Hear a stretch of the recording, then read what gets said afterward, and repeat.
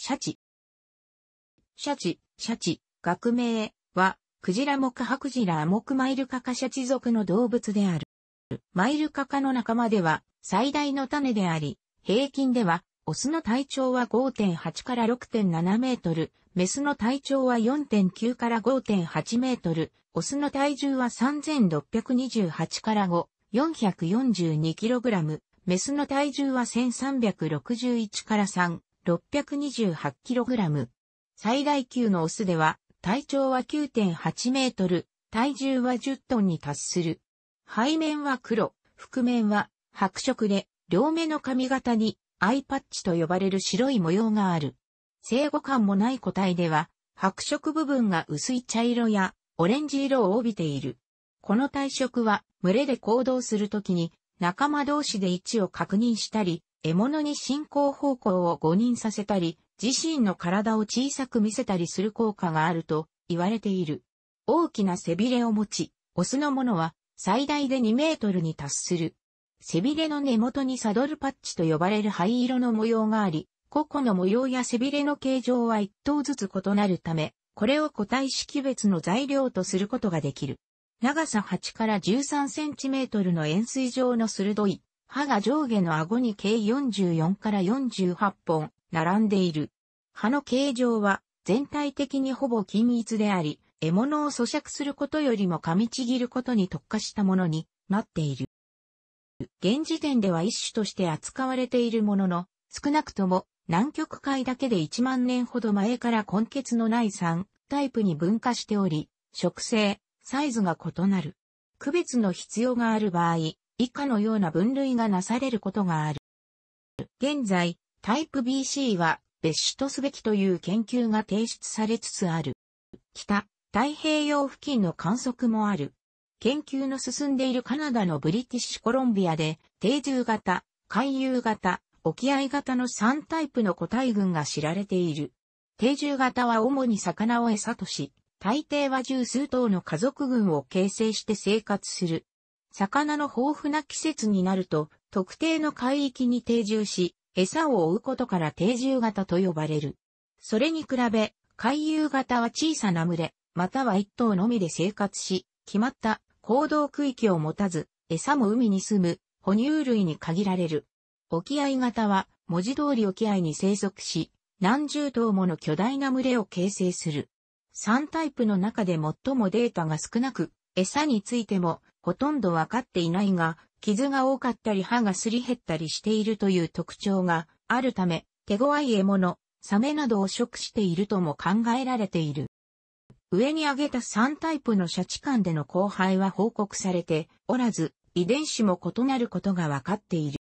一般的に冷水を好むが、世界中の海に生息し、クジラ目としては珍しく地中海やアラビア海にも生息する。餌になる動物が多いことなどから、特に極地付近の沿岸に多く住む。主にカナダのブリティッシュコロンビア州、ノルウェーのティスフィヨルド、アルゼンチンのパタゴニアインド洋のクローゼット諸島などに住む個体群の研究が進んでいる。地球上で最も広く分布する哺乳類の一種と言われる。地には餌を求めて数百キロメートルも川を遡上することも報告されている。日本では北海道の根室海峡から北方四島にかけてや和歌山県太地町にてたびたび目撃されている。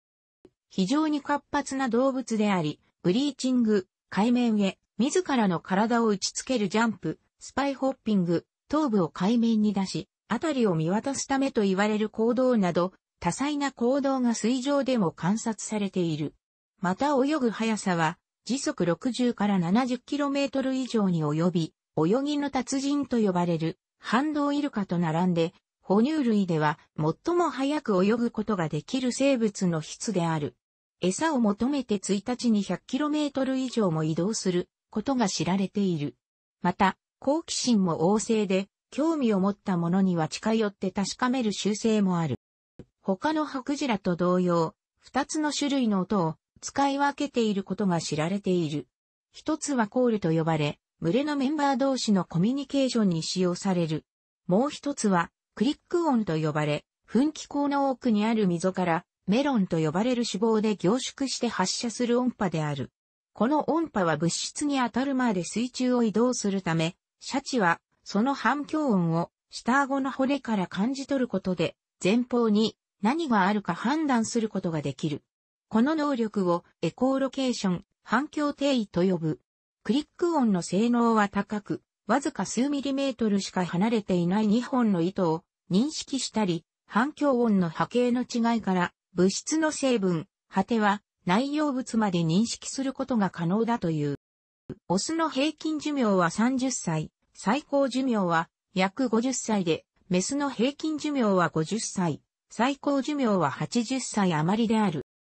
肉食性。海洋系での食物連鎖の頂点に立つ。武器を使う人間を例外にすると自然界での天敵は存在しない。ただし弱った個体や体の小さな個体がサメや他の大型のクジラに攻撃されたり、シャチの体内から別のシャチが発見されたこともある。知能も高く多くの生物を捕食することから、非常に寧毛で貪欲な捕食者として知られている。利益にならない戦闘は避ける傾向もあり、食べる必要のないものを襲うことは少ないと考えられている。アザラシやオタリアを襲うとき、海面上に放り投げ必要以上の苦痛を与えることがあるが、これは子供のシャチに安全な海中、上で狩りの練習をさせるためだと考えられている。陸上のアザラシを捕食する際、シャチ自身が海に戻れなくなり死亡することがあるため。しかし、はっきりしたことは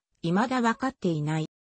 各タイプのメインの獲物だけでなく、小さいものでは魚、イカ、海鳥、ペンギン、比較的大きなものでは、オタリやアザラシ、イルカ、北極熊、時には、クジラやサメなど、捕食する動物は多岐にわたるとされる。ヒゲクジラ類では、比較的小さいコククジラやミンククジラの幼獣をよく狙い、稀にザトウクジラも狙う。ヒゲクジラ類は、シャチよりも体が大きく、幼獣に大抵母クジラが側にいて、幼獣を守ろうとするため、シャチにとっても手強い獲物となる。一部を別種とする学説すらあることからわかるように、一頭のシャチが様々な種類の動物を捕食するというより、個体ごとに様々な好みを持った生物であると理解した方が現実に近い。個体ごとに見れば、どちらかといえば変色な動物である。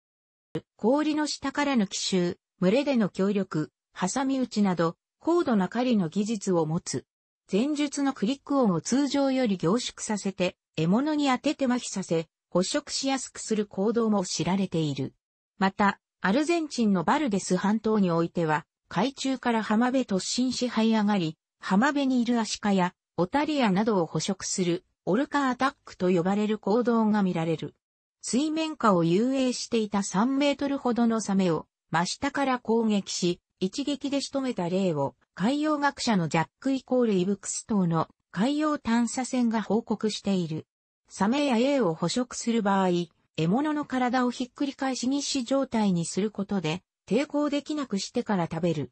軟骨魚類特有の性質を用いた有効な狩猟方法だが、エイの尾にある猛毒によって致命傷を負うこともある。口に入れた魚を吐き出して、カモメをおびき寄せ、集まってきたカモメを食した例も報告されている。好物はクジラの下、口付近であり、他の多くの部分は放置されるが、しばしばシャチがクジラの死体のある場所に訪れて、死体を食べることがある。シャチが仲間に危害を加えた人間に報復したとみられるケースは報告されている。また、サーファーが足を噛まれた例があるが、これもじゃれたり、シャチ特有の好奇心の強さによるアプローチだとされ、捕食目的とは違うとみられる。ただし、もしシャチが現実に人間を襲ったとすれば、歯と顎の大きさからひとたまりもない。また、水族館で飼育されているシャチが、ステージ上にいた飼育員を水中に引きずり込みで起死させる事件も起こっている。この事例の個体は、過去にも飼育員と客を死なせており3人目の犠牲者だ。ただしこの場合は、被害者は水中にいたという違いがある。これまでに、シャチが意図的に人を食い殺したという、はっきりした事例は知られていないが、その巨体ゆえにじゃれる程度でも場合によっては被害を被る可能性もあり、安全とは言い難い部分もあるので、触れ合ったりする場合にも、最新の注意をするに越したことはない。これはシャチに限らず、大型の動物類すべてに言えることでもある。また、経済面では、漁業被害の事例も報告されており、シャチは大型魚を食い荒らすため、漁業関係に与える被害も決して無視できるほど小さくはなく、まだ捕鯨が行われていた時代には、仕留めたクジラを食いにやってきたシャチの食害も報告され、ノルウェーなどの日本以外の捕鯨国では、シャチ撃退用にライフルマンを雇っていたこともあったほどった。単体、または数頭から数十頭ほどの群れ、ポットを作って生活し、非常に社会的な生活を営む。群れは多くの場合、母親を中心とした血のつながった家族のみで構成され、オスは通常一生同じ群れで過ごし、メスも自身の群れを新しく形成するものの、生まれた群れから離れることは少ない。これらの情報は主に、研究の比較的進んでいるカナダのレジデント個体群から集められたものであり、同海域での他の2タイプ、または他の海域のシャチすべてに当てはまるわけではない。それぞれの群れは、その家族独自の方言とも呼ばれる考慮を持ち、それにより情報を互いに交換し合っている。方言は親から子へ、代々受け継がれてゆく。群れの中でのじゃれ合いなどの他にも、違う、群れ同士が混じり合い、特に若い個体間での揉み合いや、激しいコールの交換なども観察されている。ある特定の海域では年に1回、いくつもの家族が100頭以上の群れを形成する、スーパーポッドという行動も知られている。この行動は、複数の家族が任意な交配を行うことで、それぞれの家族の血が濃くなるのを防ぐためだと考えられている。特に、生まれたばかりの個体に対する気配りとも取れる行動は多く観察されている。母親が餌取りに専念している間、他のメスが若い個体の面倒を見る、ベビーシッティング的な行動や、自身の取った獲物を若い個体に譲ったり、狩りの練習をさせるためにわざと獲物を放ったりすることも知られている。この時獲物は殺さず、教え終わったら逃がすケースも見られている。一般に、生まれたばかりの若い個体のいる群れは、移動速度が遅く、潜水時間も短い。このあたりから、バンドウイルカなどと非常に似通った習性を持つと考えられる。2018年には、生後感もなく、死んだ子供のシャチを3日間にわたり、浮き上がらせようとする母シャチが確認された。シャチ族に属するのはシャチ一種のみである。体の大きさでは小型のクジラに分類される。しかしもちろん、体の大きさでクジラとイルカを分けるのは、系統的ではなく、系統的には同じく小型のクジラである、ゴンドウ類と共に、イルカ系統の内部位置し、最も禁煙な、川ゴンドウと共に、マイルカかシャチアカに分類される。沖ゴンドウに禁煙とする説もある。ゴンドウとは禁煙で、現在は、ゴンドウの一種とはされないが、歴史的には、ゴンドウと呼ばれることもあった。なお、現在では一種とされるシャチであるが、複数の種に分割する見解もある。特徴を参照。日本語においては、シャチ、伝説上の生物、シャチにちなむ以外の名称として、坂又、坂又、逆撃がある。種称名のオルカを使う研究者もいる。アイヌ語での名称は、レプンカムイ、レプンコムー沖の神の他に、アトゥイコロカムイ、アチコロコムーカイモツカミ、カムイフンペ、コムフンペガミクジラ、イコイキカムイ、アイクイッキーコムーなどがある。カラフトの方言では、レポルン、ダカムイ、レポルン、TA コムー、トマリコロカムイ、トマリコロコムー、血を早く、シーオハイフ、カムイチシ、コムーシスとも呼ばれる。レブン地方では、イコイキフンペ、アイクイッキーフンペ、モハチャンクル、マハケンカー、シハチャンクル、シーヘイコンカー、イモンカンヌカルクル、イムンコナカーカー、カムヨッテナ、コムヨッテナといった名称があり、ホロベツ地方では、トミンカルカムイ、トーマンカーコムー、カムインカルクル、コンユンカーカー、イソヤンケクル、イソヤンケカー、カムイラメトク、コムーラマタックといった名称がある。これらのアイヌ語名のうち、イコイキカムイ、アイ、コッキーコムー、イコイキフンペ、アイコッキーフンペ、イソヤンケクル、ISO ヤンケカーについては、口述の狩りに由来する名称である。シャチはネ毛ではあるが、人間には懐きやすく訓練への適応も高いので、いくつかの水族館で飼育され、ショーにも利用される。日本での初飼育は、1970年の鴨川シーワールドである。水族館生まれで2世を誕生させた。日本書は、鴨川シーワールド産のラビ、1998年産、メスである。日本、アメリカ合衆国、カナダ、フランス、スペイン、アルゼンチンの6カ国11施設で計42頭が飼育されている。2008年。うち、野生個体、野生状態から捕獲した個体13頭、繁殖個体、飼育下で出産された個体29頭である。日本国内での捕獲は学術目的以外では禁止されている。2018年7月現在、日本でシャチが見られる水族館は鴨川シーワールドと名古屋港水族館の2館のみである。シャチはその知名度ゆえに海を舞台にした映画や漫画などの作品に多く登場し、オルカでは家族の復讐のために怪獣並みの破壊行為を行う。